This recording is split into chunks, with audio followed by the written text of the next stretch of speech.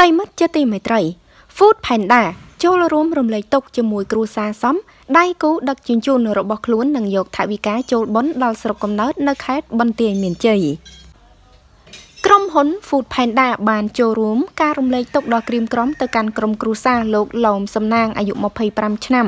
ដែលជាដៃគូដឹកជញ្ជូនរបស់ខ្លួនបានទទួលមរណភាពនៅថ្ងៃសុក្រទី2ខែធ្នូឆ្នាំ2022វេលាម៉ោងប្រមាណ12ថ្ងៃត្រង់តាមបណ្ដោយផ្លូវ225កែងនឹងផ្លូវ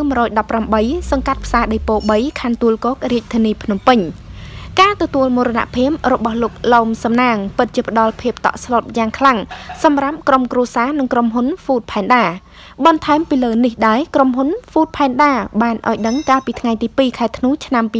2022នៅថ្ងៃដដែលបានសហការជាមួយក្រុមគ្រួសារសពរៀបចំបុណ្យសពនៅស្រុកកំណើតខេត្តបន្ទាយមានជ័យរបស់សពផ្ទាល់ដែលស្ថិតនៅភូមិសំរងធំឃុំឈ្មោះមានជ័យស្រុកព្រះនេត្រព្រះខេត្តបន្ទាយមានជ័យ ទាំងនេះបានបញ្ជាក់បង្ហាញថាក្រុមហ៊ុន Food Panda មានការយកចិត្តទុកដាក់ក៏ដូចជាទំនួលខុសត្រូវរបស់ក្រុមហ៊ុនទៅលើដៃគូដឹកជញ្ជូនរបស់ខ្លួនភ្លាមភ្លាមនោះផងដែរតំណាងក្រុមហ៊ុន Food Panda គឺលោកជួនគឹមហៈប្រធានគ្រប់គ្រងដៃគូដឹកជញ្ជូន Food Panda បាននាំយកមូលនិធិដែលមានការចូលរួមពីក្រុមហ៊ុនផ្ទាល់បុគ្គលិកដៃគូដឹកជញ្ជូននិងសប្បុរសជនជាច្រើនតាមប្រព័ន្ធ Facebook គិតជាទឹកប្រាក់ចំនួន 22,165.56ដុល្លារគិតត្រឹម20ម៉ោងទៅជូនគ្រួសារសពផ្ទាល់ដែលកំពុងមានទុក្ខធំដោយបាត់បង់ប្តីជាទីស្រឡាញ់និងឪពុកជាសសរទ្រូងរបស់កូនកូន។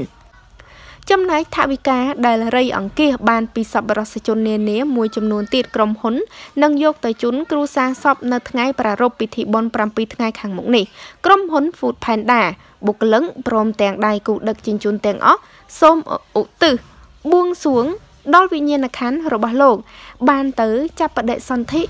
ទៅកាន់សុគតិភពកុំបីឃ្លៀងឃ្លាតឡើយ។ ចាគឺក្រុមហ៊ុន Panda គឺពិតជាមានទំនួលខុសត្រូវខ្លាំងមែនទែនហើយក៏បានធ្វើមូលនិធិមួយរៃអង្គាសថវិកាជូនដល់សពជនរងគ្រោះដោយគាត់បានទទួលមរណភាពអំឡុងពេលធ្វើការដោយហត់នឿយអស់កម្លាំងខ្យល់កោស្លាប់ពេលនេះក្រុមហ៊ុន Food Panda ក៏បានយកថវិកាចំនួន22,165.56ដុល្លារ ទៅជូនក្រុមគ្រួសារនៃសពហើយគឺពិតជាទឹកចិត្តដ៏ល្អប្រពៃមែនដែលថវិកានេះបានមកពីក្រុមហ៊ុនក៏ដូចជាសប្បុរសជនតាមបណ្ដាញសង្គមដែលបានបាញ់ជូន